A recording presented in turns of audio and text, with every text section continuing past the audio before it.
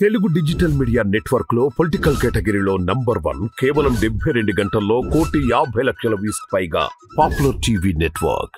ఇప్పుడు మహిళల free bus గురించి ఏం చెప్తారు? అదే విధంగా రైతు. బంధు రైతు. బంధు ఇప్పటిదాకా పడలేదు అలాగే రుణమాఫీ కూడా కాలేదు.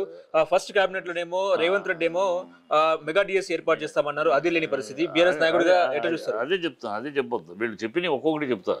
ఇది ఆల్రెడీ ఆర్టీసీ లాస్లో ఉంది. లాస్ట్లో ఉండగా మీరు ఫ్రీ పాస్ అన్నారు. ఫ్రీ పాస్ అని మూడు సంవత్సరానికి మూడు వేల కోట్లు. ఎక్కడి నుంచి వస్తాయి? దా తెలీదు. మగవాళ్ళు ఆల్రెడీ ఆల్రెడీ అనరెస్ట్ మేము ఓట్లు వేయలేదా? మాకేంటి అని అడుగుతున్నారు. ఆటో వాళ్ళు ఆటో వాళ్ళు బతికేది మా బతుకుల మీద మట్టి కొట్టారు. ఫ్రీ పాస్ అని ఆటో వాళ్ళు గొడవ చేస్తారు. ఇవన్నీ బూమరాంగ్. విద్యుత్ ఈయన ఉత్తమ్ కుమార్ రెడ్డి చెప్తాడు. అయ్యా రైతులకి వడ్లు కొన అప్పులు అంటారు. రైతుల దగ్గర వడ్లు కొంటాం. వడ్లు కొని మిల్లర్లకు ఇస్తాం. మిల్లర్లు దాన్ని బియ్యంగా చేసి ఇస్తారు. దాన్ని ఎఫ్సీఏకి పంపిస్తాం. ఎఫ్సీఏ వాళ్ళు డబ్బులు తర్వాత పంపిస్తారు. ఈ రైతు దగ్గర నుంచి కొన్న తర్వాత ఎఫ్సీఏ వాడి దగ్గరికి వెళ్ళి వాడి డబ్బులు వచ్చేది చాలా టైం పడుతుంది అది ప్రాసెస్. ఈ లోపల ఏం చేస్తుంది? ఏ ప్రభుత్వం అయినా రైతుల్ని వెయిట్ చేయనివ్వదు కదా. వాళ్ళ దగ్గర కొన్నాక వాళ్ళ పంటని కష్టపడి పండించిన పంట కొన్నాక మీరు మా అక్కడ డబ్బులు రావాలి ఆగడం అనలేదు.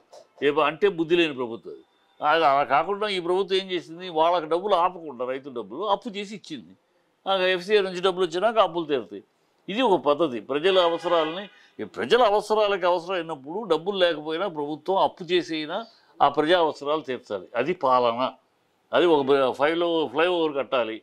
ఆ ఫ్లైఓవర్ కట్టకపోతే అక్కడ క్రాస్ రోడ్స్ మీద డైలీ యాక్సిడెంట్లు అవుతున్నాయి జనాలు చచ్చిపోతున్నారు. ఖచ్చితంగా అక్కడ ఫ్లైఓవర్ కావాలనే అవసరం ఉంది ప్రజల అవసరం. అక్కడ అప్పుడు డబ్బు ఆ ఫ్లైఓవర్కి డబ్బులు లేవు. డబ్బులు లేవంటే జనాలు సావని మా దగ్గర డబ్బులు లేవని కూర్చుంటుంది ఆ ప్రభుత్వం కూర్చోదు. అప్పో సొప్పో చేసి అది ఇమీడియట్ కడదు ఎందుకంటే ప్రజా అవసరం అది. The importance of the people అది. కనుక అది కడుతుంది అది కూడా తెలీదు అప్పులు అప్పులు అప్పులు అంటే అప్పులు ఎందుకు చేశారు? అప్పులు ఎక్కడ వినియోగం అయింది? చెప్పండి మీరు. చూపిస్తున్నాం ఎంతసేపు అప్పు చూపిస్తున్నారు ఆస్తి పెరిగిందేంటి? ఎంత ఆస్తి పెరిగింది? ఇవాళ బ్రాండ్ ఇమేజ్ ఎంత పెరిగింది? మీ రాజకీయ క్షుద్ర రాజకీయాల కోసం ఈ దౌర్భాగ్యపు రాజకీయాల కోసం ఈ కాంగ్రెస్ నీచ నికృష్ట భ్రష్ట రాజకీయాల కోసమని తెలంగాణ ఇమేజ్ దెబ్బతీస్తారా? తెలంగాణ ఇది అయిపోయిందని బీహార్ లాగా తయారైంది.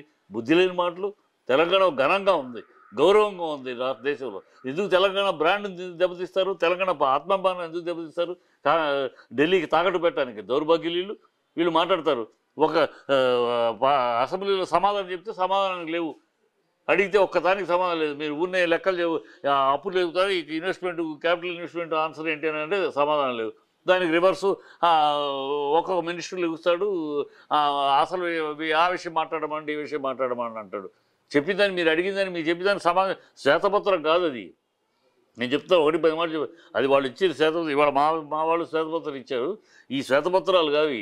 వీళ్ళు ఇచ్చిన శ్వేతపత్రాలు కాంగ్రెస్ ఇచ్చిన శ్వేతపత్రం వాళ్ళకి శోకపత్రాలు అవి వాళ్ళు రేపు రాబోయే కాలంలో ఎందుకురా బాబు ఈ శ్వేతపత్రం పెట్టుకుని రివర్స్ కొట్టించుకుంటున్నాం మనం?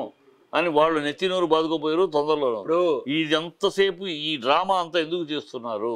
ఈ ఇన్వెస్టిగేషన్ చేస్తాం అవి చేస్తాం ఇవి చేస్తాం డబ్బులు అప్పులు ఎందుకు చేస్తున్నారు? వీళ్ళు ఏడవలేరు. వంద రోజుల్లో చేసేయాలి. ఆరు హామీలు చేస్తామన్నారు. సచ్చినా చేయలేరు తొమ్మిదో తారీఖు అన్నది పోయింది ఫస్ట్ క్యాబినెట్లో డెసిషన్ అన్నది పోయింది ఏమి చేయలేరు. ఈ చేయలేరు కనుక దానికి ముందు ప్రిపరేషన్. డబ్బులు లేవు డబ్బులు లేవు ఏం చేయగలవు? డబ్బులు లేవు డబ్బులు లేవు గత ప్రభుత్వం డబ్బులు లేకుండా చేసింది ఏం చేయగలవు? అని ఒక సాకు క్రియేట్ చేసుకుంటున్నారు.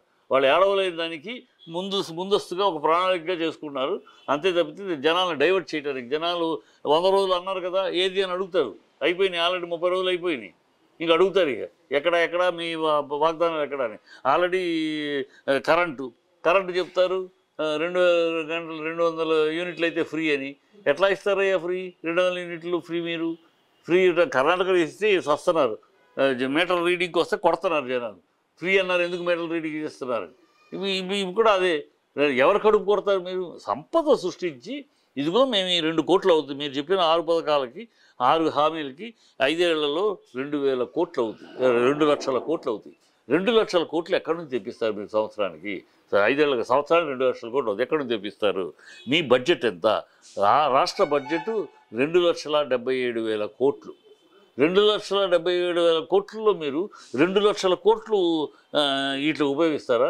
ఇంకా రై రైతు బంధు ఏముంది? కళ్యాణ మస్తు ఏముంది? వీటి కనుక ఎక్కడ తెస్తారు? డెబ్బై ఏడు ఇవాళ పదకొ సంవత్సరం నెలకి ఆదాయం పదకొండు వేల కోట్లు. ఏడు వేల కోట్లు ఇందులో జీతాలకు పోతున్నాయి. జీతాలకు పోతున్నాయి. జీతాలకు పోతానే మిగతా నాలుగు వేల ప్రభుత్వం ఎలా నడుపుతుంది కనుక అప్పు అప్పు చేసి డెవలప్మెంట్ ఆపలేదు కదా? డబ్బులు లేవని ప్రభుత్వం డెవలప్మెంట్ ఆపితే అంతకన్నా దరిద్రమైన పాలన మరొకటి ఉండదు. ఓకే. ఇప్పుడు అసెంబ్లీ విషయానికి వస్తే అసెంబ్లీ సమావేశాలు జరుగుతున్న నేపథ్యంలో రేవంత్ సీఎం రేవంత్ రెడ్డి అన్నారు ఎన్ఆర్ఐ అని చెప్పిన పరిస్థితి. అలాగే చీమలు పెట్టిన పుట్టలో బీఆర్ఎస్లో ఎవరు దూరిండి అధ్యక్ష అని చెప్పేసి రేవంత్ రెడ్డి కౌంటర్. ఎట్లా చూస్తారు మీరు? ఆ మాట్లాడటానికి రేవంత్ రెడ్డికి సిగ్గు సెరవు ఉండాలి. మనిషి సీఎంగా మాట్లాడుతూ ముందు వెనక ఆలోచన లేకుండా ఎన్ఆర్ఐ ఎవరై ఎన్ఆర్ఐ? నీ నాయకురాలు ఎవరు? నీ నాయకురాలు ఇండియన్? ఎన్ఆర్ఐని తీసుకొచ్చి దే రాష్ట్ర దేశానికి ప్రెసిడెంట్గా పెట్టుకున్నారు ఎన్ఆర్ఐని తీసుకొచ్చి. చీమల పుట్టలో పాము అంటే ఎవరయ్యా చీమల పుట్లో పాము? ఉత్తమ్ కుమార్ రెడ్డి బట్టి విక్రమార్క విజయ్ కోమటిరెడ్డి వెంకటరెడ్డి వీళ్ళందరూ జానారెడ్డి కష్టపడి పార్టీని నిలిపారు. ఆంధ్రలో పార్టీ లేదు. ఎందుకంటే ఇలా నాయకులు లేక ఇక్కడ పార్టీ మూతపడిపోయింది.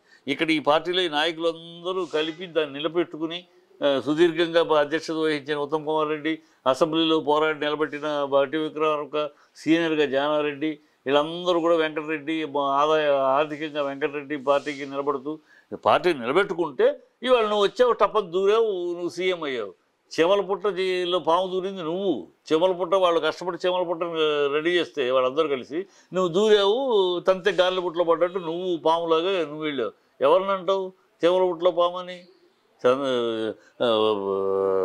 కేటీఆర్ చెమల పుట్టలో పాము కాదు. కేటీఆర్ కష్టపడి ప్రజల్లో ఆమోదం పొంది వచ్చాడు.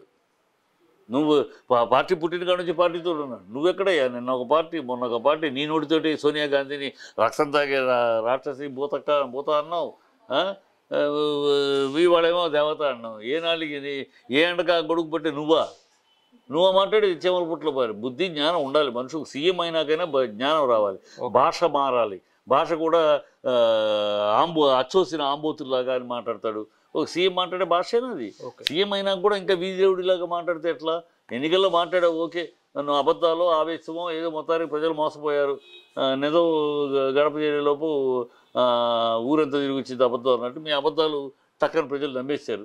నమ్మేశారు కనుక ఆ, మాట్లాడుతున్నావు తప్పితే నీకు బాధ్యత ఉండాలి బుద్ధి ఉండాలి జ్ఞానం ఉండాలి. మాట్లాడేటప్పుడు మన సీఎం ఇప్పుడు మనం గాలి గాలి మనుషులం కాదు.